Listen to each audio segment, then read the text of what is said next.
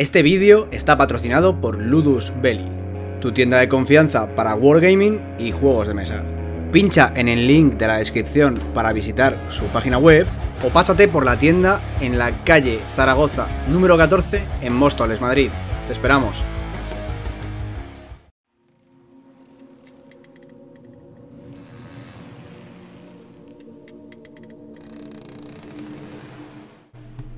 A mi benefactora. Confío en que esta misiva alcance la frontera nulamiana antes del resplandor de la luna cast. Vuestras advertencias no eran exageradas. Ulfer Khan se encuentra al borde de la ruina. El lobo ha transformado esta orgullosa ciudad en nada más que una mesa de banquetes para él y sus engendros bebedores de sangre. Cuando Gis desciende y cae la oscuridad, merodean en la noche, arrancando a víctimas agullantes de las camas para despatarrar sus cuerpos exangües sobre los adoquines. Espectros se arremolinan y chillan por las torres. Enterradores sin rostro arrojan a los vivos a fosas comunes y los sepultan vivos bajo montículos de tierra recién excavada. Cráneos inmensos, fruto de la magia amatista, barren la ciudad, convirtiendo cuanto encuentran en trozos de cristal púrpura. Y siempre, en la distancia, uno puede percibir la negrura devoradora del Nadir de Sis, observándonos hambriento, como la ciudad maldita mientras se acerca cada vez más al borde del abismo. Solo la fe puede evitar tal destino. En tanto el pueblo llano mantenga viva la llama de la esperanza, Ulferkan no se deslizará al olvido. Por desgracia, la esperanza es un lujo raro en estos días oscuros. Los vivos de Ulferkan superan poco en humanidad a un cadáver recién levantado.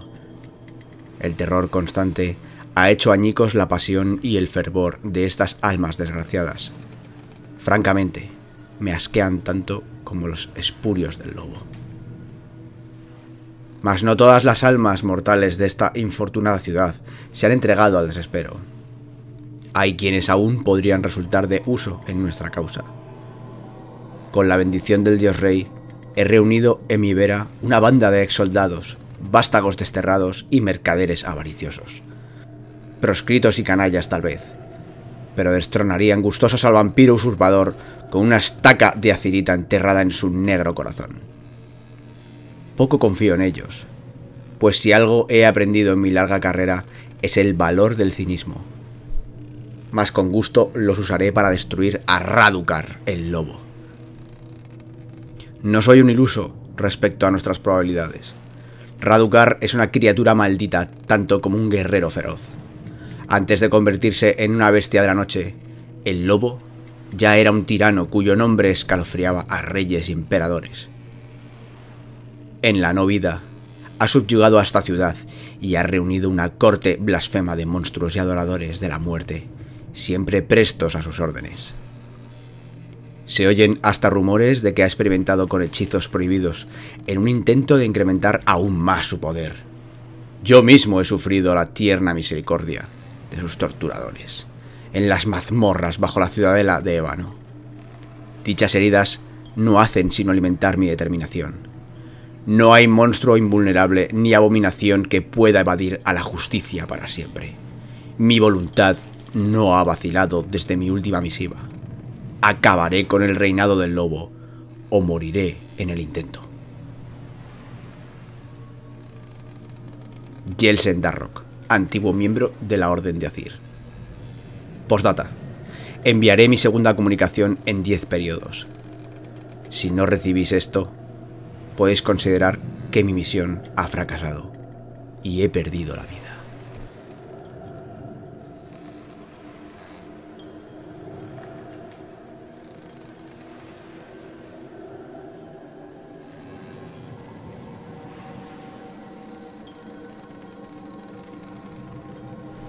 Una era de conflictos. Los reinos mortales resuenan con el tronar de tambores de guerra.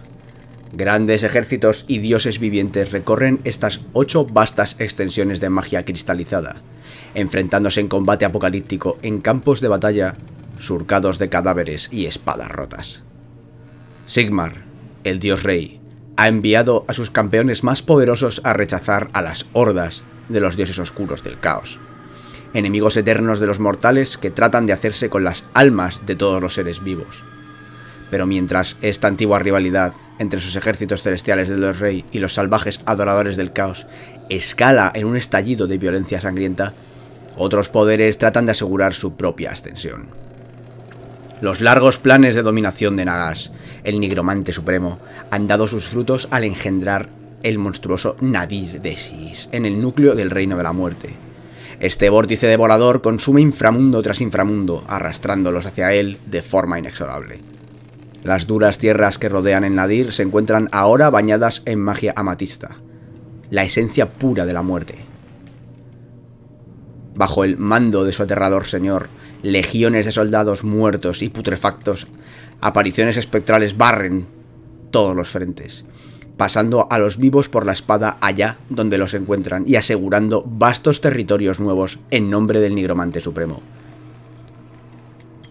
Al mismo tiempo, los tiranos no muertos y las criaturas de la noche descubren que sus poderes viles se incrementan gracias a la miasma de la magia oscura con sonrisas crueles y ansiosas, surgen de sus cubiles en busca de almas para reclamar nuevas víctimas de las que alimentarse.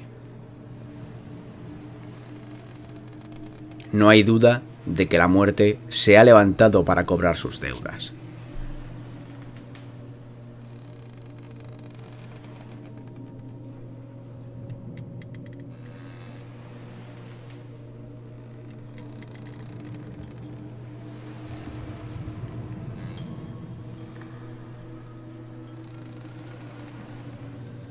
El legado oscuro.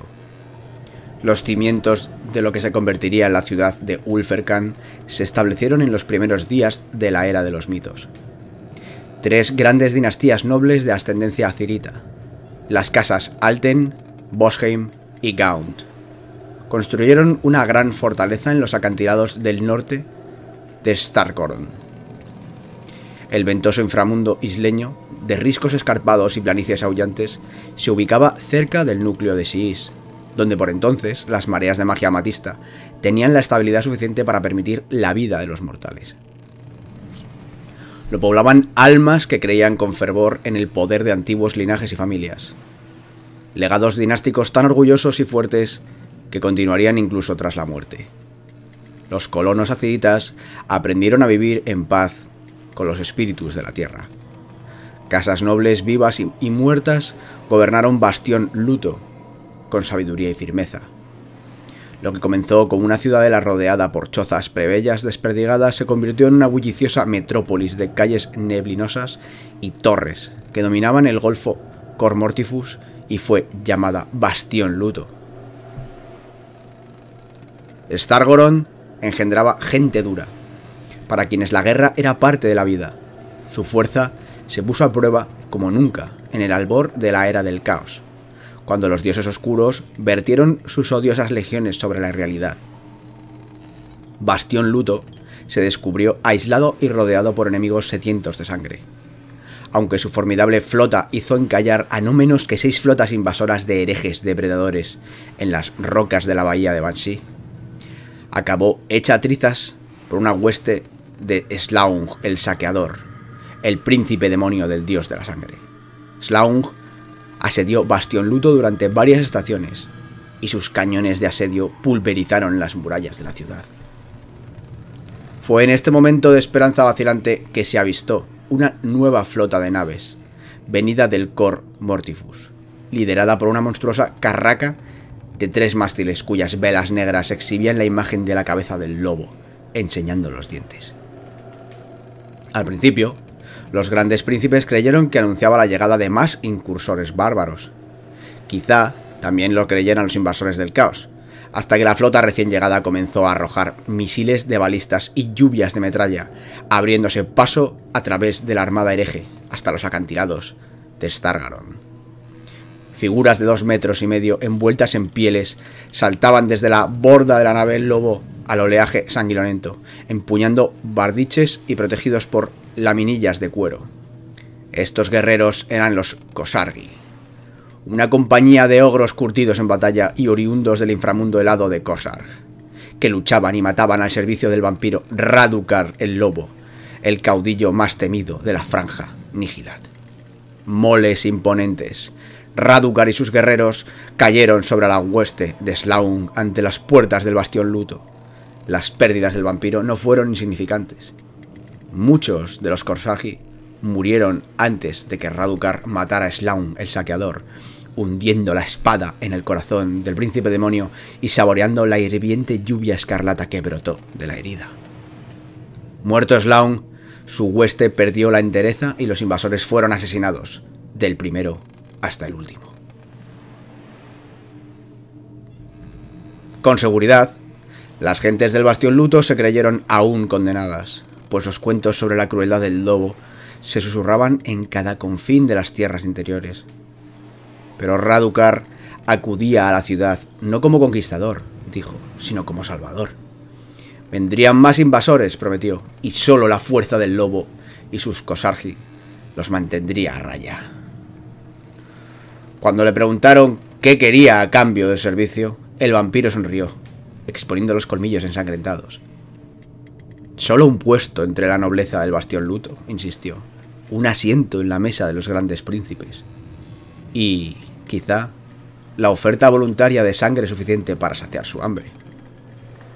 Sin duda era un precio justo, en vista de lo que pasaría si otra hueste del caos caía sobre la ciudad debilitada pero era un trato envenenado, y los líderes de las grandes casas lo sabían. Pero la alternativa era dejar la ciudad indefensa ante la ira de sus enemigos herejes. Así, los señores del Bastión Luto invitaron al lobo a cruzar sus murallas, y al hacerlo, se condenaron a sí mismos y a su gente a un destino terrible y prolongado.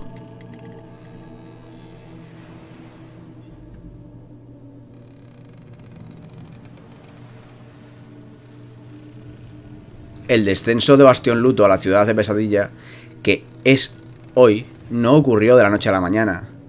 Durante un tiempo, al menos, hubo un acuerdo entre los grandes príncipes y su nuevo aliado, que reclamó la ciudadela de Ébano. La antigua y orgullosa fortaleza erigida por los fundadores de la gran ciudad como su dominio. Con la fuerza de los Kosargi y su entera disposición, su osada demanda no pudo rechazarse, reunió a su alrededor una comitiva de monstruos, lacayos y criaturas de las horas oscuras. La corte sedienta, que atendía cada una de sus órdenes. No fue simple suerte lo que llevó a Radukar a Stargoron. Con la disminución del poder de la magia de la muerte en las tierras interiores y las ciudades costeras que había depredado durante siglos convertidas en cenizas, no podía matar a placer como antaño. Además, a Radukar lo guiaba el destino.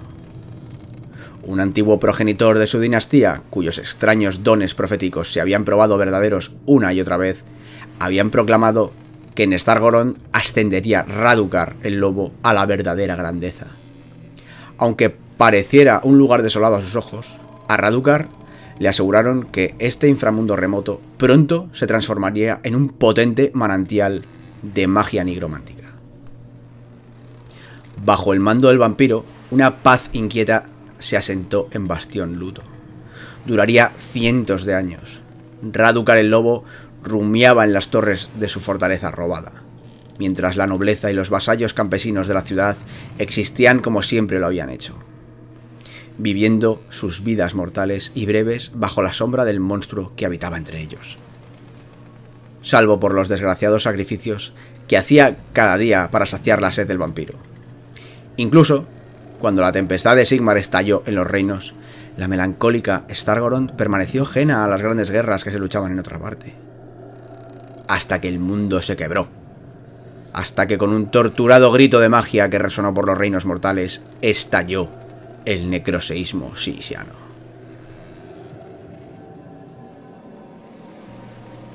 El nacimiento del Nadir sisiano alteraría para siempre el tejido de los reinos mortales.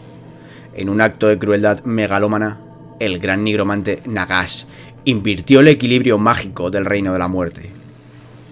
La energía arcana en el borde distante de la esfera del reino, tan aplastante que ni las criaturas no muertas podían existir allí, fue arrastrada hacia el centro de Sis y el vórtice de la nada que había sido invocado allí. El inframundo de Stargoron, que yacía en el centro calmo del reino, donde la magia permitía la vida mortal, fue arrastrado al mismo borde del abismo. Bastión Luto circundó la orilla del Nadir, y la misma materia física de la ciudad quedó dividida por fuerzas increíblemente poderosas, que ahora se habían apoderado de ella. Varios distritos se deshicieron como puñados de ceniza, habitantes y calles arrojados al torbellino nigérrimo que flotaba sobre la ciudad. Mientras los mortales del Bastión Luto se veían asolados por multitud de horrores, el vampiro Radukar se descubrió lleno de poder. La maldición antinatural que imbuía su ser y le otorgaba fuerza y vida eterna era potenciada por la miasma de magia amatista que inundaba las tierras interiores. El lobo ya no acecharía en las sombras, alimentándose de ellas. Era hora de que se alzara. Cuando una noche impenetrable cayó sobre Bastión Luto, el vampiro y su corte salieron de la ciudadela de Ébano. Exultantes por su poder incrementado, emprendieron una purga homicida, matando a todo mortal que sospecharan que fuera una amenaza para el gobierno de Radukar. Dinastías nobles fueron masacradas de la noche a la mañana. Solo unos pocos a quienes Radukar juzgó útiles recibieron el beso de sangre y fueron transformados en vampiros. Los distritos quedaron surcados de cadáveres pálidos. Se mantuvo con vida a los mansos y a los sérviles. Radukar quiso asegurar una provisión constante de vitae fresca, de la que alimentarse. El vampiro decretó que la ciudad sería renombrada Ulferkan, como se decía, festín del lobo, en su áspera lengua. Cuando al fin brotó una chispa de albor entre las brumas matinales, el yugo de hierro del lobo sobre Sargoron era indiscutible. Pero para la población aterrorizada que había sobrevivido a los excesos de la noche, el verdadero horror acababa de comenzar. Sin oposición, los gobernantes vampíricos de Ulferkan satisficieron cada ansia depredadora, transformando la gran ciudad en un matadero. Era un lugar gobernado por el miedo y la sombra, en la que la vida valía menos que nada y la esperanza no era sino un recuerdo deslucido. Para los habitantes de Ulferkan, que trabajaban con ahínco en las flotas balleneras y las granjas de sangre de ciudad, la existencia se había convertido en una rutina entumecedora y erosiva, puntuada por actos de necesidad repugnante. Para saciar el hambre de los vampiros, se han levantado fuentes de piedra en las plazas de la ciudad, bordeadas por colmillos de marfil fantasmal. Antes de que la estrella alta aparezca cada noche, el pueblo llano se acerca a esos monumentos macabros y se abren las palmas con estas protuberancias afiladas. La sangre se filtra a las piletas, manando por acueductos serpenteantes que llevan el tesoro carmesí a las profundidades de la ciudad de Ébano. La exsanguinación es ahora el castigo para cualquier crimen, no importa cuán insignificante. Los reos son estacados y desangrados a lo largo de varias semanas, o arrastrados ante las puertas del cubil de Radukar, y dejados allí, atados y aullantes, para que los vampiros los devoren como prefieran. Estas prácticas barbáricas ya son un modo de vida, ningún mortal se atreve a poner en pie en las calles de Ulferkan de noche, atraídas por el aura oscura arremolinada en torno a la ciudad. Bandadas de murciélagos carroñeros y enjambres de extrañas ratas de ojos centellantes asolan las calles en las horas crepusculares.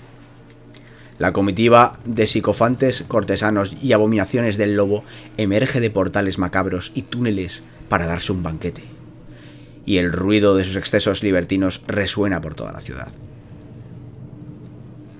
Parte de la población ha intentado huir emprendiendo un viaje horrible a través de los riscos de Stargoron hacia el mar abierto y quizá la libertad. Apostar cuán lejos llegarán estos valientes necios antes de que los agarren y devoren horrores nocturnos se ha convertido en un pasatiempo morboso para el populacho. Solo los vecindarios exteriores de la gran ciudad son habitables para los mortales. Aquí se erigen mugrientos poblachos y chabolas, en los que se apretujan miles de mortales cetrinos de ojos opacos, en una existencia precaria mientras sirven los caprichos de Radukar y su progenie. Los espías del lobo se aseguran de que cualquiera muestre una chispa de desafío o fe en su salvación sea identificado con rapidez y marcado para el ensanguinado. Algunos reciben puestos de poder escaso y la esperanza de evitar los horrores que sufren los suyos. No es más que una ilusión, pues al final todos acabarán condenados.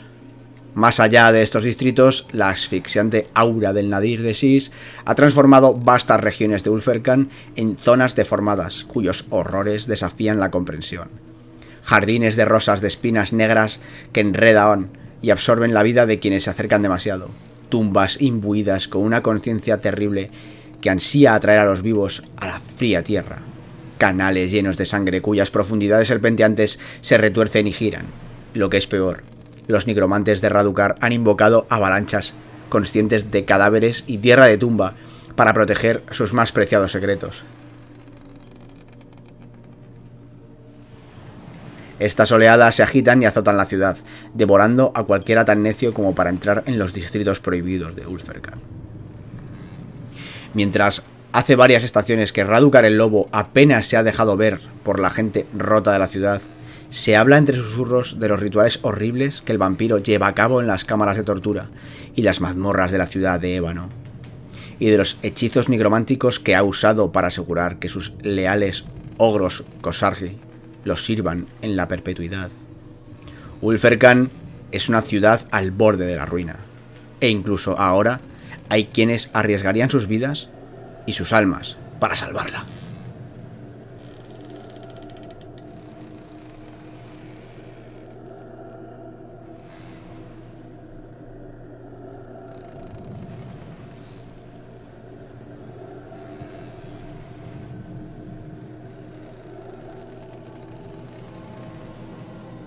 Señores de la ciudad maldita.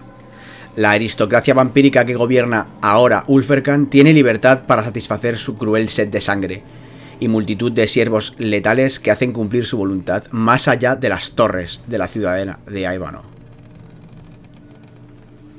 Radukar el Lobo.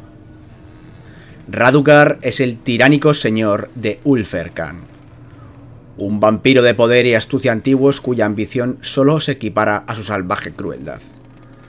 El lobo era un caudillo temido incluso en vida, y asaltaba una ciudad tras otra mientras sus ejércitos arrasaban las costas de Osía y de Necros.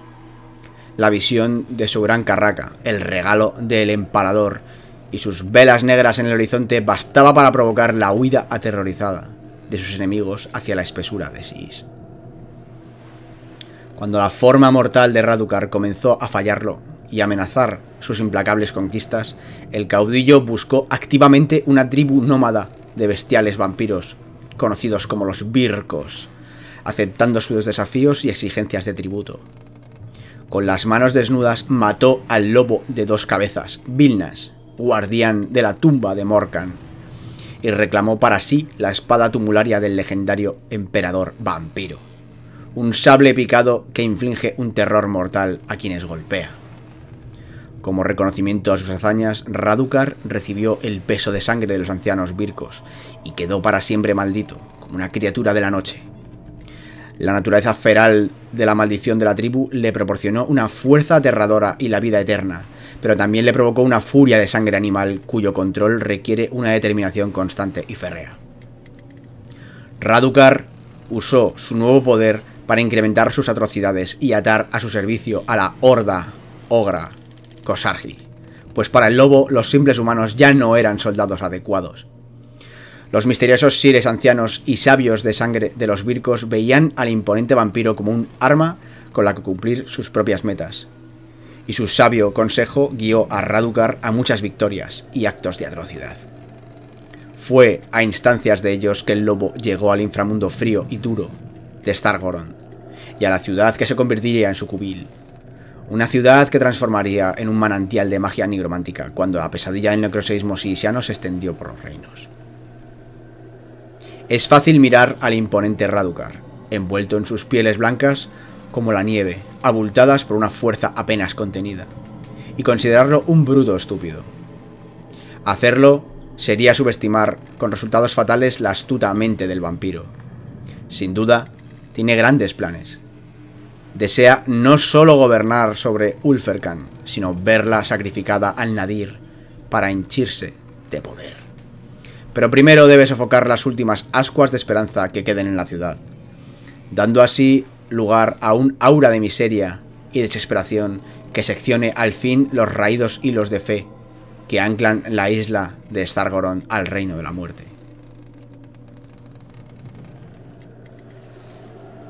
Para asegurar que ningún agente del Dios Rey o del Panteón Oscuro amenace sus intrigas, Radukar ha utilizado el conocimiento nigromántico de su chambelán, el sabio Torgilius, para crear filactelias de tumba arena, llenas de piedra del reino pura, protegen el espíritu maldito del vampiro frente a la muerte, asegurando que, de perforar una estaca o un rayo mágico el negro corazón de Radukar, otra alma se consuma en su lugar. El lobo ha proporcionado también estos viles dispositivos a sus lugartenientes de confianza, de modo que continúen sirviendo a sus órdenes.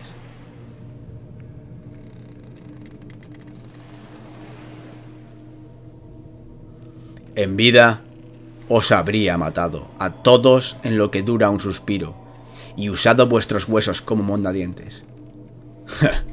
¿Podéis imaginar lo que voy a haceros ahora?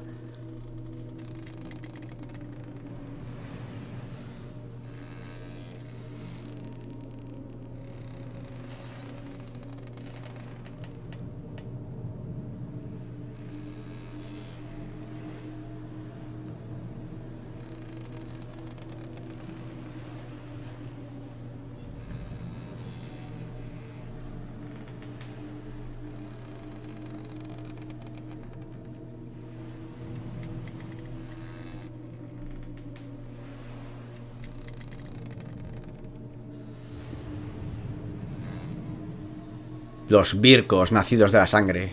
Cuando Radukar emprendió su gran purga de Bastión Luto, los primeros objetivos que eliminó fueron los vástagos de las grandes casas, Bosheim, Gaunt y Alden.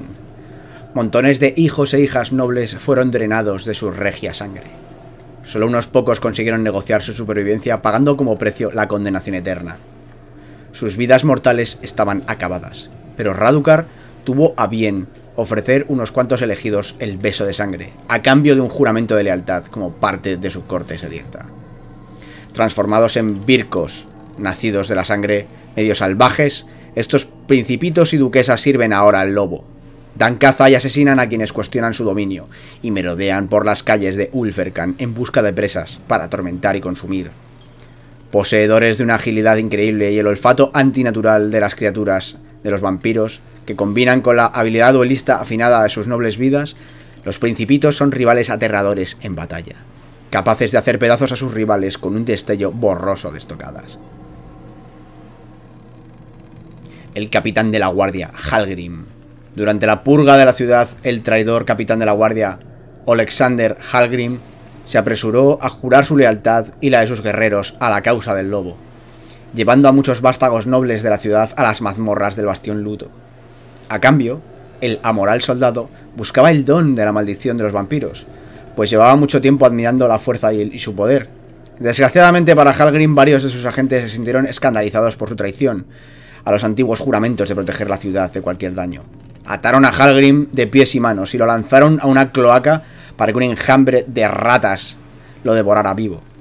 Aunque lo único que quedaba del Halgrim fuera un esqueleto limpio de carne, Radukar y sus nigromantes buscaron al capitán de la guardia y lo levantaron como un agente para que liderase a su Ulfenwatch. Halgrim volvió a su puesto y mató con su alabarda a quienes lo habían depuesto, aunque no encontró la paz en el acto. Reducido a un poco más que un automata putrefacto, Halgrim no siente nada más allá de su poderoso imperativo a cumplir todas las órdenes del lobo.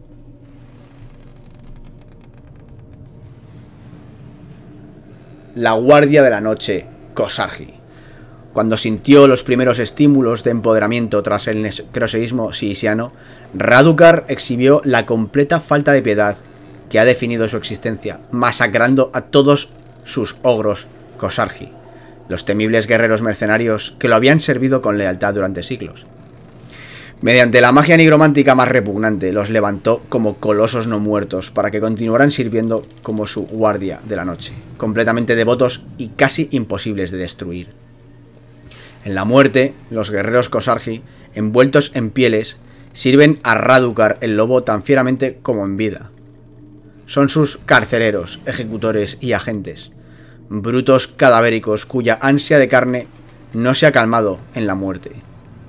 Las pisadas estrepitosas de sus botas hacen que los habitantes de Ulferkan se escabullan, pues allá donde los Kosargi vagan pronto sigue la matanza. Aunque son guerreros lentos y pesados, su carne putrefacta puede absorber hasta las heridas más severas, mientras hacen oscilar sus bardiches y machacan a sus enemigos hasta convertirlos en pulpa sangrienta. La Ulfenwatch, la guardia de Radukar. Radukar precisaba una fuerza permanente para mantener el orden en su ciudad, pero los humanos, sin importar cuán subyugados y doblegados por el terror, eran demasiado endebles para aventurarse en los distritos más espantosos de Ulfelkan. Por ello, el lobo hizo que su siervo Goslav el guardián de las criptas, vaciara los jardines de cadáveres y los túneles de las criptas bajo la ciudad para alzar una legión de guerreros esqueleto para atarlo a su voluntad como la temida Ulfenwatch. Equipados con armas antiguas y corazas de hierro cubiertas de cardenillo, estos soldados sin carne marchan por las calles de la ciudad en filas numerosas, dispensando justicia brutal contra cualquiera que quebrase el toque de queda o se interne en territorios prohibidos. Pocas de sus víctimas se rebelan contra la tiranía de la Ulfenwatch, pues la mera señal del desafío resulta en la horripilante ejecución pública del perpetrador. Despojados de cualquier semblanza de piedad o emoción, los milicianos esqueléticos de la Ulfenwatch se lanzan contra sus rivales, cortando y apuñalando sin pensar en su propia supervivencia.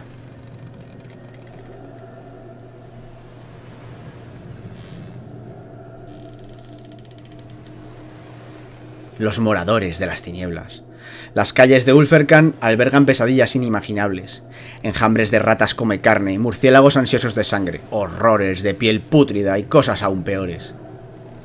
Torgilius, un antiguo miembro de la hermandad académica de sepulcralistas conocida como el Pacto Mortalis, Torgilius le dio la espalda a tan augusta compañía para unirse a la corte del lobo en Ulferkan llevando consigo la investigación del pacto sobre las filactelias cargadas necróticamente con tumba arena. Radukar no tardó en encontrarle valor al trabajo del viejo y le ofreció las herramientas y recursos para que continuara sus estudios a perpetuidad, colmado ahora del poder antinatural de la ciudad al borde de la muerte. Torgilius quizás sea el lugarteniente de mayor confianza del lobo, no solo ha descubierto los secretos de la tumba arena, otorgando a su señor la capacidad de redirigir a otras personas las heridas que lo destruirían, sino que también ha desarrollado la capacidad de proyectar a su voluntad a través de las alimañas necrotizadas que infestan de la ciudad de Ulferkan. Esto le permite espiar a la población y a cualquiera que se atreva a entrar en el dominio de Radukar. Desde su guarida en el auditorio académico de Marcatumba, que ha transformado en un mortuorio y laboratorio para sus depravados experimentos nigrománticos, Torgilius lo ve y oye todo. Aunque prefiere enviar a seres inferiores a cumplir sus órdenes, cuando la necesidad lo exige, desata la totalidad de su fulminante magia oscura, lanza rayos de oscuridad necrotizadora y envía enjambres de alimañas no muertas para que devoren a los enemigos vivos.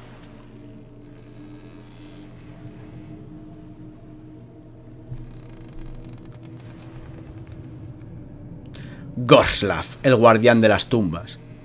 La imponente y demacrada criatura llamada Gorslav ha cuidado de las criptas y las fosas de los jardines de cadáveres de Ulferkan tanto como cualquier habitante mortal de la ciudad puede recordar, alimentando estos lugares malditos con centenares de almas frescas para saciar su conciencia malévola.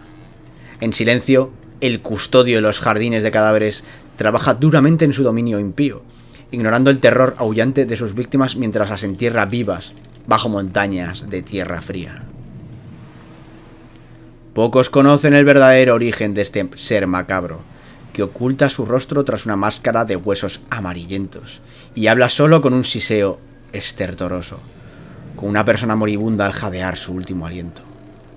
Algunos dicen que antaño fue un mortal, un hombre gigantesco que pasó tantos años caminando por los terrenos impregnados de muerte de Ulferkan que él mismo se volvió más un cadáver andante que un humano. Otros juran que Gorslav no es un único ser, sino que hay docenas de guardianes de las tumbas, todos parte de una horripilante orden que se alimentan de la magia vil que se remueve en torno a cadáveres recién enterrados. Es cierto que Gorslav puede llamar a los vientos de la muerte para alzar a la no vida a hordas tambaleantes de zombies, o para restañar heridas enormes de su carne podrida y picada. Sin importar que fue en el pasado, Gorslav parece carecer de emociones y pasiones. Existe solo para servir a los señores vampiros de Ulferkan.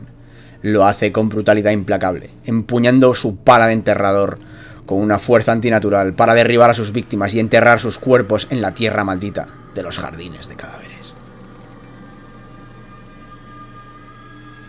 Cuando oigas el roce, roce, roce del viejo Gorslav al caminar, que nunca hace otro ruido, pues no le gusta hablar. Huye, idiota, y ve a esconderte, y reza que no llegue a cogerte, atarte las manos y arrastrarte, para aún despierto enterrarte.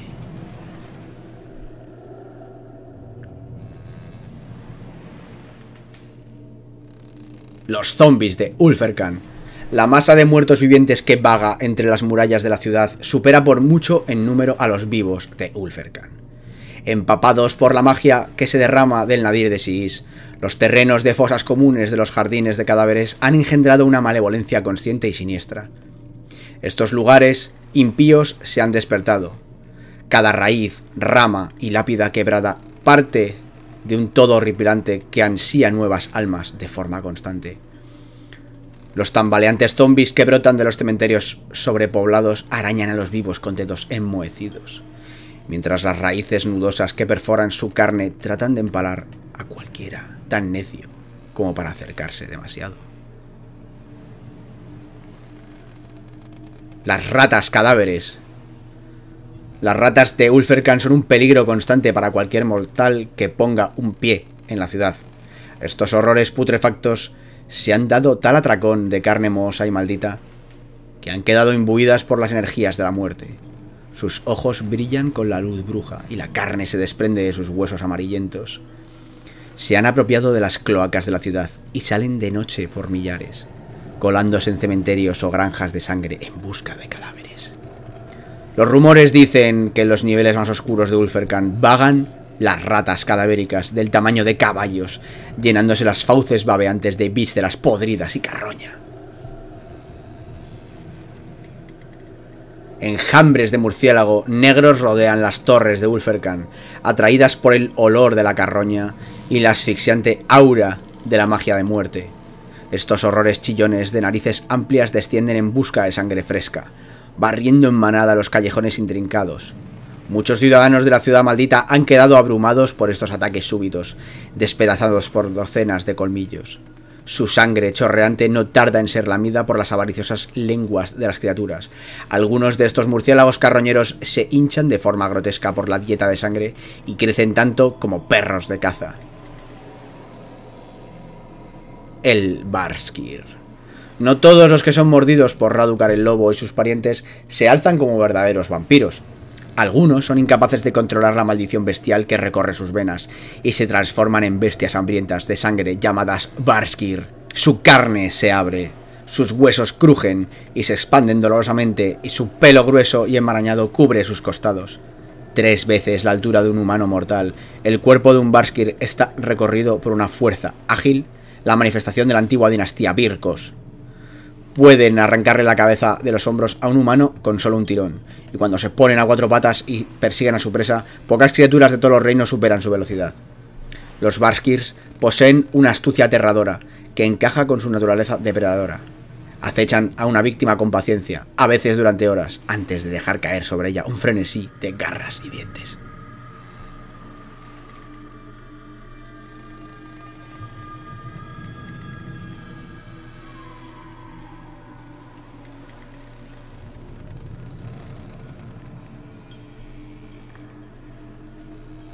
Y esto es todo por ahora. Este es el lado de los malos, el lado de los vampiros.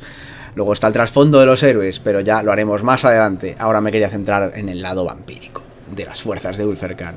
Si os ha gustado, darle al like por fin, ahora mismo, así, ahora mismo, un like, que esto ayuda un montón para que el canal suba y más gente pueda conocer el trasfondo de este juego, que cada vez va a más. Muchas gracias chicos, espero que os haya gustado.